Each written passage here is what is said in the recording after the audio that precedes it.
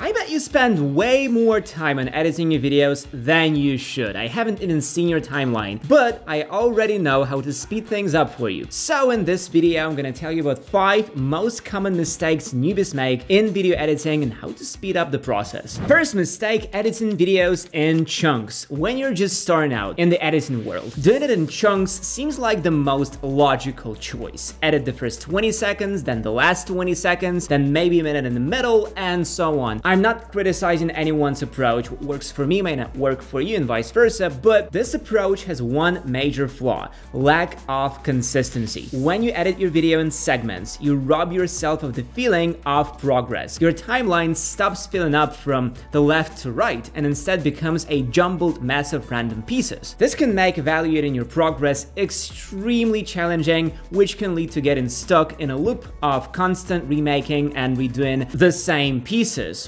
sure, sometimes the video structure allows for a non-linear editing approach. Sometimes the sequence is dictated by the footage you've shot and how it's organized. I've been there too. When reviewing B-rolls, I sometimes find a clip that would be perfect for the video. Placing such pieces where needed right away is a must, even if it slightly breaks the sequence, but it's better to avoid doing this. All these interesting moments can be cut out and moved to a video track on top, or you can create a special section of the timeline for these snippets. Try try to edit your videos from start to finish in chronological order. Believe me, it's a real time saver. The second mistake almost every beginner editor makes is inconsistent style. And I'm not talking about the way the video was shot or its pacing. I'm talking about visual elements, transitions, text animations, intros, and animations within the video itself. When you first start editing, it's natural to want to make a video as flashy as possible. I've been there too. This urge is especially hard to resist when you open up Movavi Video Editor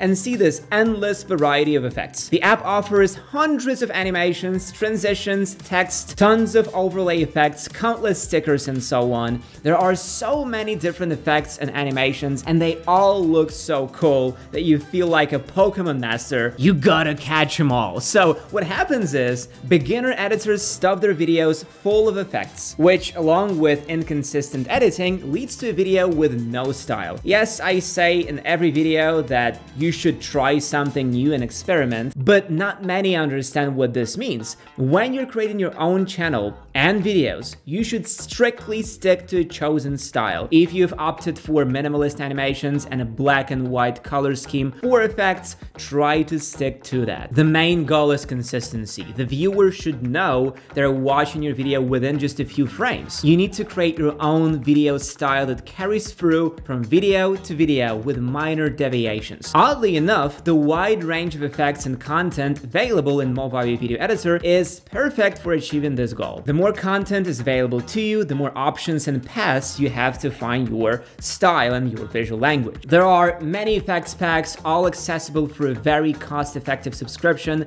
Among these packs, you can find effects for any taste and type of video. Educational videos, gaming videos, children's videos, you can pick anything you like. Another mistake you often see from beginner editors is too much manual work. Sounds a bit odd, but let me explain. When you're editing video, you're doing lots of tasks. Cutting videos, creating animations, and so on. Many newbies don't know how to use certain software features, turning simple effects and processes into complicated, energy-draining ones. For instance, cutting a ready-made video into pieces. Sometimes you need to use clips from someone else's video or even from your old video whose project wasn't saved. In such cases, beginners usually prefer to manually find the needed sections frame by frame. A more experienced editor will simply go to more tools and select scene detection. The software will automatically identify the video scenes and do the cutting in just a few seconds. What about animations? You might think the only way to create animations is to use keyframes, but a more experienced editor knows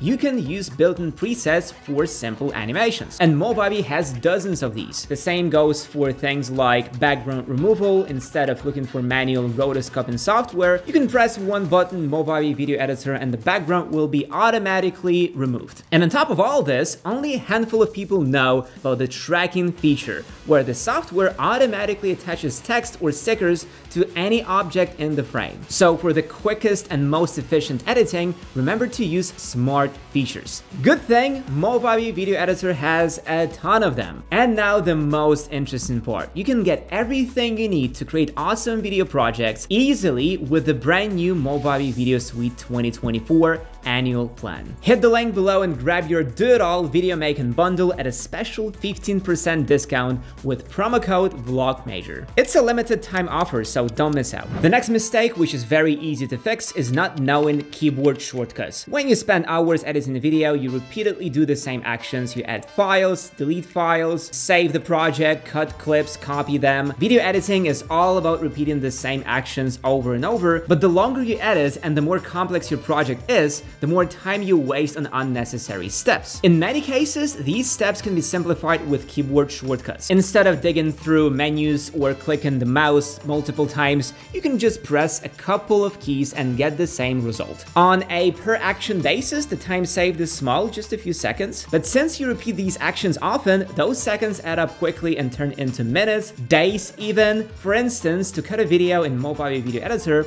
you can drag the marker on the timeline to the right point and click the scissors. Another way is to choose the blade tool and cut with that. Both methods are fast and intuitive, but if you use the keyboard shortcut, Command B or Control B, you can cut even faster. You can find these shortcuts by clicking on Help, Keyboard Shortcuts. There are dozens of shortcuts, all easy to learn and get used to, so even your grandma will have no problem remembering them. Another pro tip, if you have a fancy mouse with programmable buttons, it's a great idea to assign some editing actions to these buttons for even faster editing. Spend a little time learning these keyboard shortcuts and you will definitely speed up your editing. And now we come to a not so obvious mistake, constantly rewatching your video. While editing, you'll likely replay your work over and over, made a few changes, watched the segment, couple more changes, watched again, created an interesting intro, rewatched, you get what I'm saying. How can such a straightforward action be a mistake? Actually it can, but the reason is subtle. Sure, to edit a video well, you absolutely have to review it repeatedly, but not too often. Here's what usually happens. You add a text block, watch how it looks, then you change the font, color, or size, watch again, then you add animation, and watch yet again. It would be much wiser to add text and animation all at once